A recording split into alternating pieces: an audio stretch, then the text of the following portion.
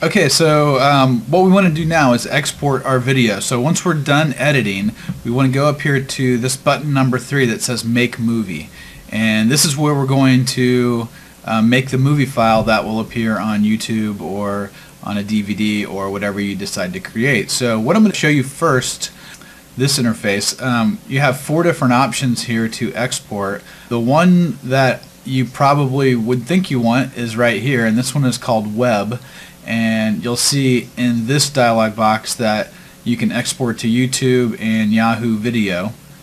The problem that I've had with this is that it only exports in a 640 by 360 resolution, which is pretty low quality. I've gone ahead and done something different, and I'll show you what that is. So the way you need to do it is to go up here and hit the File button, and this is going to allow you to export the video as a standard uh, video file to your computer. Um, couple advantages of this. The first is that you can export in true HD video if that's what you brought into the program. Um, and you can see the resolution is 1920 by 1080 here so um, you can see that you'll have a really good quality video on your computer that you can always go back to um, and not have it uploaded to YouTube and never be able to find it again. So um, that is one huge advantage. Okay, so the next advantage to um, saving a file directly to your computer is that you have it on your computer. Um, and then you can upload another copy of it to YouTube, but you always keep the original.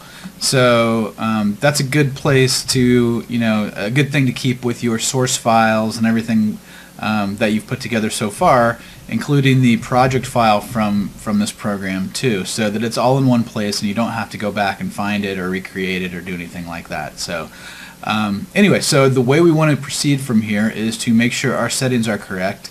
And you can see you can export in a whole bunch of different formats. The one that I use is the MPEG-4 uh, version. That one will um, uh, be pretty universal and will also upload pretty good to YouTube and give you a nice HD quality video there. Um, you can see that it's uh, exporting in 1080p, which is true HD. Um, you can go to smaller sizes as well, but YouTube is going to automatically reformat that for you once you upload it. So we want to keep it in the most uh, high definition format that we can for our own personal um, archives and so forth. So that's where we want to keep that. And then the next thing we want to do is, uh, well, let's take a look under these dialog boxes. I'll show you what they are. Um, basically, this is the file. This is the file um, name that we're going to export. Okay, so I already exported this once, um, but I need to go back and fix some things that I didn't get taken care of. So I'm going to go ahead and name it Oasis 2, since it's the second one that I'm exporting, and hit save. One, once I do that, it's going to start to render out this uh, movie and it's going to take all these transitions down here and uh, all of the effects and intros and all those things and put them all together into one giant file. This can take a very long time, you know, and so this is the time to probably stand up and go get a cup of coffee or uh, Coke or whatever prefer and um, just take a little break.